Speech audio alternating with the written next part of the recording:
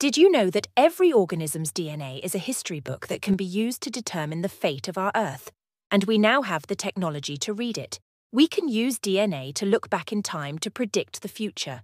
In today's Odyssey, we'll discuss the DNA of a small Antarctic octopus that may have solved a long lasting mystery of when the rapidly melting West Antarctic ice sheet last collapsed, unlocking valuable information about how much future sea levels may rise in a warming climate.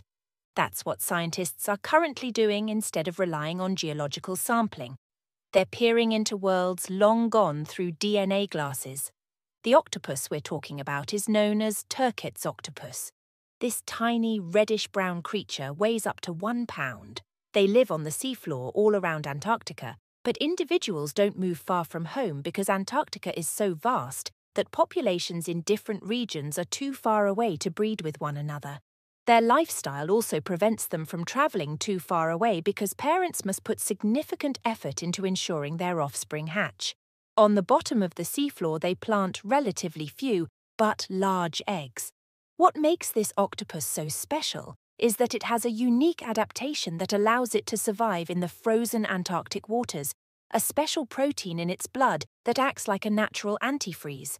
This same protein was found when scientists collected and sequenced the DNA of 96 Turquet's octopi from different regions around Antarctica.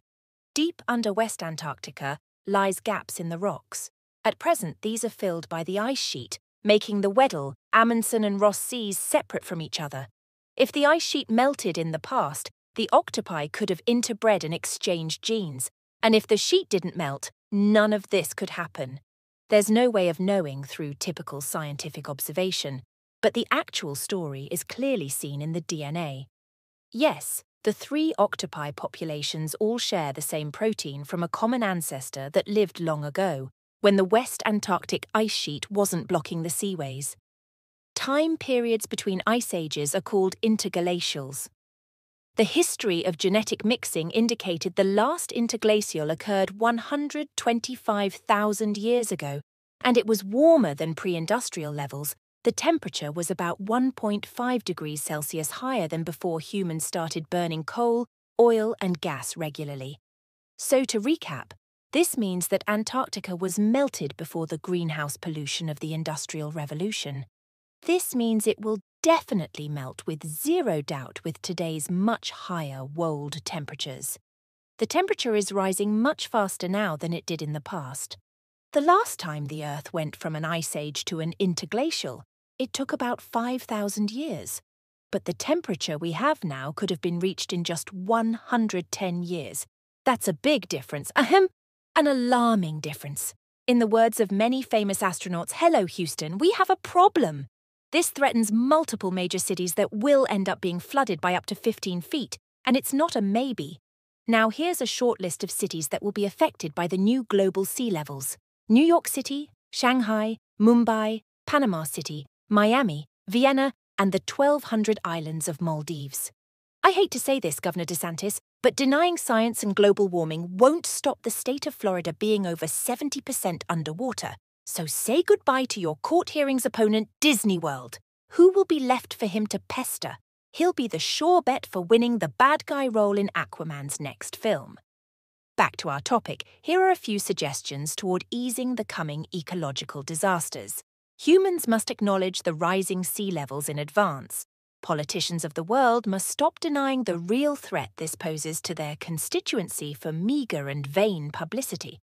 The world's populations must adapt to the sea level rise that's coming by relocating heavily populated water's edge and coastal cities. We must embrace green technologies that ease pollution and temperature warming trends. We can switch to renewables like solar and wind energy, trade gas guzzlers for electric cars or public transit, support local sustainable businesses, get involved in climate campaigns, and urge leaders to adopt ambitious emission reduction policies supporting clean energy. Something must be done to educate large population bases who are still in denial, so we'll have a chance. Victoria University Antarctic Modelling Hub shows that climate decisions made this decade will affect the Antarctic ice sheet for centuries. It's clear how multiple people are dependent on fossil fuels and don't show any concern for what this does, but by doing so, they aren't discerning what future they're leading for our children. Yes, the hour is late, but it is not too late. Our planet's future was in our hands all along. Thank you for embarking on this enlightening odyssey with us. We encourage you to share your opinion in the comments section of what your thoughts are, and hopefully you found this helpful. Subscribing is a form of bookmarking the channel to see more of our awesome content. We explore green technologies in our other videos. Stay curious, and we'll see you in the next Odyssey.